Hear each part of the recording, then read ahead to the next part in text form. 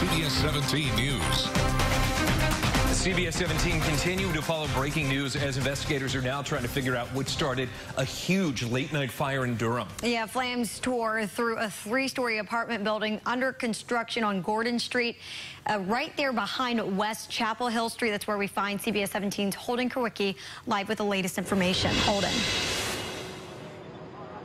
Well, Laura, Bill, all the fire crews on the scene have now left, but there is still a fire marshal out here. A number of contractors have actually just started showing up, and they can see some of that smoke in the center part of the building, and they were just remarking about, you know, you can tell the firewalls on this building really did its job of containing it to that center section. Several viewers shared videos of the fire with us overnight. It all started just before midnight, and witnesses say they heard a loud pop and then saw flames.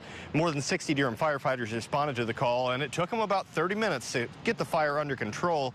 One man driving by said he really just couldn't believe the flames that he saw.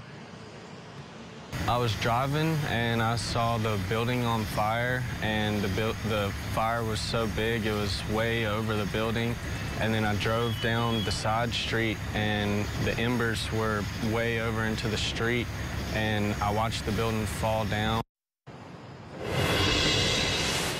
Now, the good news here is that nobody got hurt. Again, the cause of this fire is still under investigation, and the fire marshal is on the scene. I'll continue pushing him to get answers. Reporting live in Durham, Holden Kurwicki, CBS 17 News.